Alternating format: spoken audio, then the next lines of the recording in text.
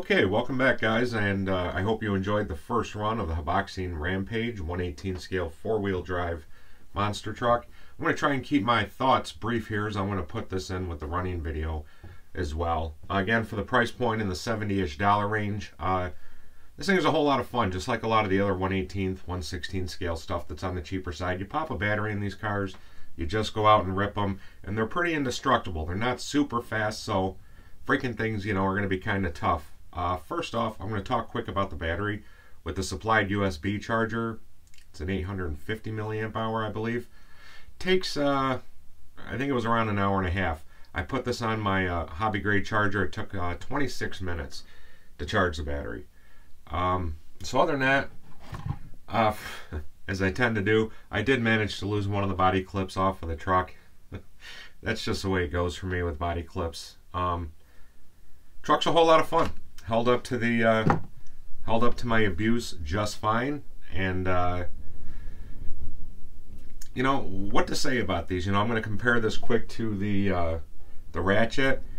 This one, obviously, you can see in some of the clips with the rougher stuff, handles it quite a bit better because it does have some more ground clearance on it, and uh, obviously the bigger tires. Uh, these are by not any means soft tires but compared to the ones on the Ratchet, uh, they're a lot softer. So it does allow it to soak up the, the bumps quite a bit more. Uh, all the footage you saw of this was it running on the, the normal speed setting on the radio. I didn't even drive it in slow. But again, for what it is, for the amount of money, this thing was a lot of fun. And out of that battery, I got just over 10 minutes of runtime, and that was pretty much full on throttle. I'd say probably 95% of the time. Didn't break anything. Everything came out just fine. Obviously friction shocks. But with this truck, it works just fine. I, I you know, unless I feel like getting adventurous, you know, I'm probably going to keep the shocks as is. And uh, trying to think if there's anything else. Oh, when I was getting this truck ready, like I said, you get the LEDs and you got to put them in yourself. Because of the, the size of the car and, you know, my big fat sausage fingers, uh, I had a heck of a time getting the LEDs into the buckets. And, uh, you know, in case you picked this up, uh, what I ended up doing was uh, I removed uh, these two screws here that, that allowed me to bend this back just a bit. I undid the the front shocks at the top to get those out of the way, and I had to like kind of pull this down, and it's flexible to get the LEDs in there. Uh, I had a heck of a time, but I'm sure I'm not the only one. Maybe I am. Who knows?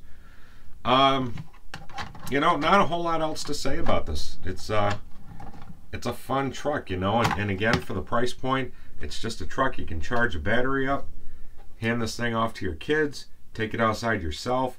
Uh, you know, it'll handle pretty decent uh, types of terrain, and uh, you really don't need, I think, a whole lot as far as the plastics go on this about breaking it. You know, the electronics, you know, it, it's always a possibility that down the road something's going to go. Uh, another thing I wanted to mention about this in comparison to the Ratchet, um, I had a lot better range with this over the Ratchet, so that's some good news to report. Guys, I think that's going to do it for the first run of the HBX Rampage. As always, I appreciate everybody taking some time out of their days to watch my videos. That means a whole lot. Guys, till next time, everybody take care. We'll see you around.